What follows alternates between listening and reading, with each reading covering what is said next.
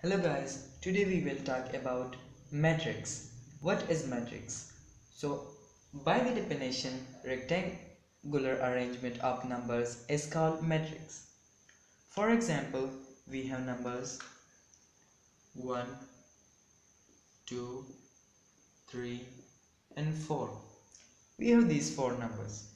We want to arrange these numbers in order so for arranging this we will write this is 1 2 3 4 and enclosed it in a shape like rectangle. So for rectangle we will enclose it by brackets by square brackets. When we enclose these numbers by square bracket these form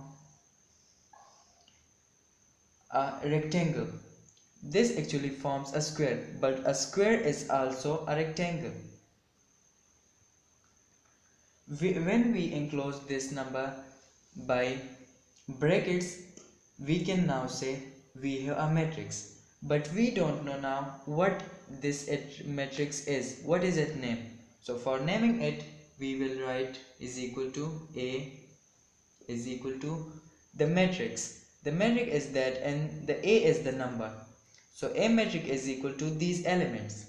These 1, 2, 3 and 4 are the elements of the matrix A. Now these numbers are arranged in rows and columns. So what do we call rows? Rows is the arrangement of number is horizontal form.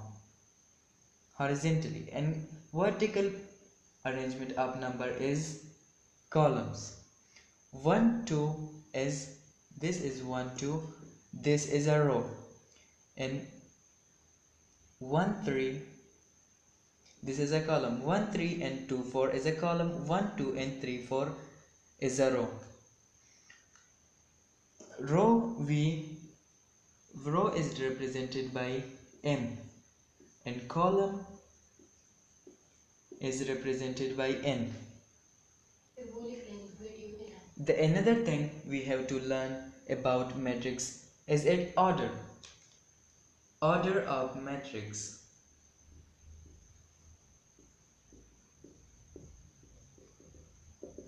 What is order of matrix? So order of matrix is equal to rows multiply columns m multiply n so in this matrix we have rows is equal to 2 1 and 2 and columns is equal to 1 and 2 2 2 multiply 2 so 2 multiply 2 is order of matrix. To and 1 2 3 4 are the elements of the matrix A. So to determine how many elements this A consists uh, pretend we don't know its element so to know an element we use the order of the matrix formula to determine its elements. So row multiply column formula. Row we have 2 and column 2.